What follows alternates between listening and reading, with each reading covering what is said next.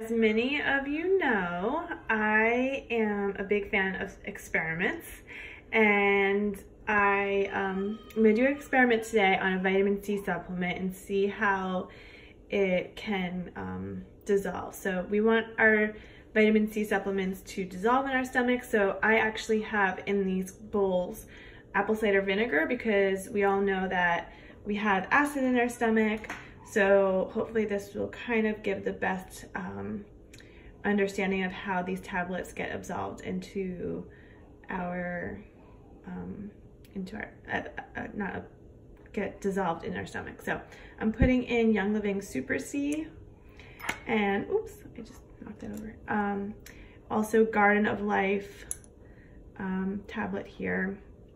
And this is their Living Vitamin C. I'm gonna see which one does better.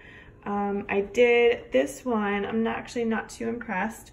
This is the Garden of Life.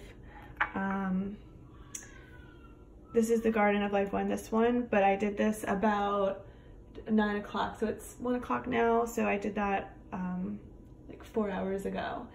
And we don't have, let me grab a, a spoon to show you, not, I mean, four hours, if this was in your stomach for four hours, I'd not be too impressed um, because it's still kind of clumpy there.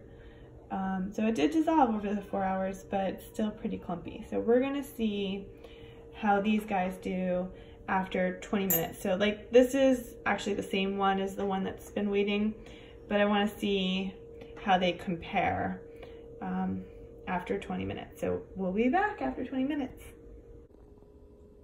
Okay guys, I'm back and it's been 20 minutes and we get to see how our supplements dissolved. So you want your supplement to be able to dissolve in your stomach um, because that's how it's gonna get absorbed. Um, so we have two really good quality supplements here. We have one Young Living. This is, um, this has a lot, it's a lot of like whole foods. There's citrus bioflavonoids, um, tangerine oil, grapefruit oil. The vitamin C for two tablets is over 2000%. So it, even just one tablet will give you a boost of vitamin C. Um, this is also a really good vitamin C supplement. It's also coming from Whole Foods, um, you know, whole food uh, derivatives. And um, this is giving you less percentage. Uh, two tablets is going to be 400%, a little over 400. But if it's going to be a rock and just come out um, the same way it went in, it's not going to really do you much good. So I have apple cider vinegar here to help um, give us like the pH that we need because we, are, we do have acid in our stomach. So if we look at Young Livings, give it a stir, see what we got. I don't see any, so like there's a little bit of, maybe like, it looks like, um, like a film type texture, but it looks pretty much the whole tablet is gone. I don't see it there. Okay, and then if we look at the Garden of Life, and I give it, oh, it's like stuck on the bottom. Um, this one is pretty still solid. Can't even really chop it. So that's not good for me. I want it to be easy on my stomach. I want it to be easy on my body. I want to get the benefits of the supplements that I buy. Um, and if it's doing for this type of supplement, I can imagine what it's doing for other lower grade supplements as well.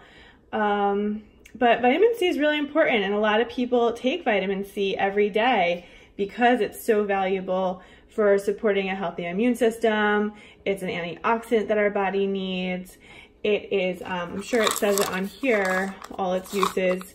Um, it's immune health support, antioxidants. It helps absorption of iron in our bodies. It is a precursor for glutathione, which if you know anything about detoxing, um, that's important.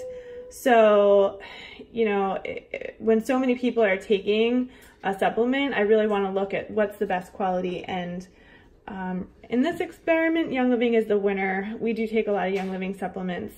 Um, so we we like we like Young Living Super C. I take I take one tablet of these every day. All right, bye.